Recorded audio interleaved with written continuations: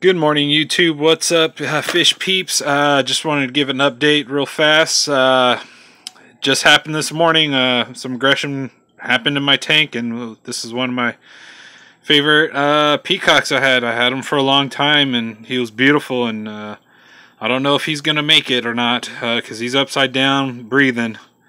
So I've just dosed the tank with some Melafix to hopefully help him heal with his, some of his wounds, and maybe he could bounce back. But you know, I don't know who uh, was the aggressor. I uh, wasn't uh, watching my tank when this happened. Uh, I found him uh, wedged up up between my power head.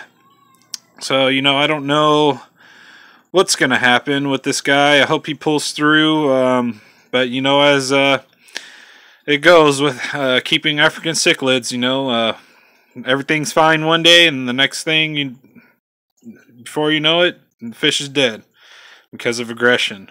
Uh, you know, I, I you know I'd skipped the feeding this morning because you know I kind of made a mistake of uh, overfeeding them yesterday.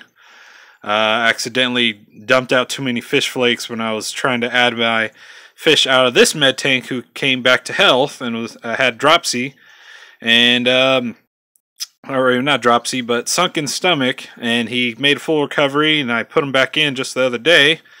Uh, but then today, uh, this guy, uh, he might have got teared off the off the anarchy. I don't know, but uh, you know, I hope he pulls through. Well, anyways, I uh, just wanted a quick uh, update for you guys, and thanks for watching and tuning in, and thank you for the subscribers, and a shout out to Deb Tim Canadian Girl and Pro Tim Aquatics. Thank you so much for doing a shout out on your videos. I really appreciate it, and it has helped me get more subscribers to my channel. Uh, thank you so much again, and hopefully I could give you an update about this fish uh, coming back to full health. Thank you. Have a good day. Bye.